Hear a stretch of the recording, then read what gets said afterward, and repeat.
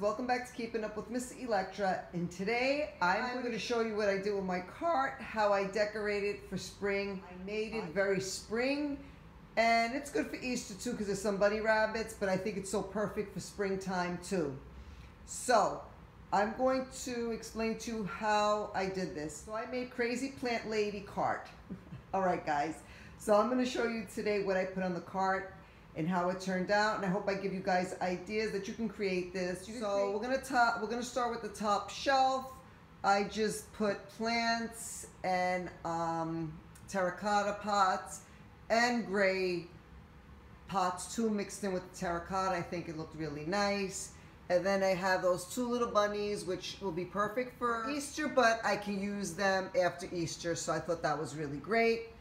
So all these, I believe, everything here is Hobby Lobby. Oh no, the bunnies are from Michael's.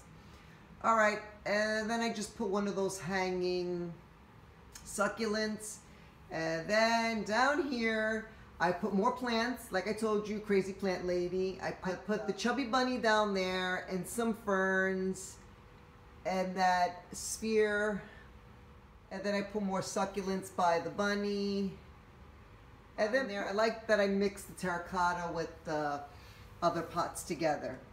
All right, so here in the bottom is more terracotta pots. I put a little nest down there and then some other kind of plants. I think they're ferns, I'm not sure. And then I put these moss little bunnies in this wooden basket. I think it turned out really cute. And then I put some kind of vine just in the bottom. And then I got these two terracotta pots. One is empty. I like when you when you um, leave one empty and one full.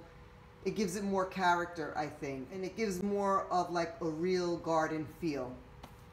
And then I put the hydrangeas in there in the other terracotta pot. And I think it came out really nice, guys.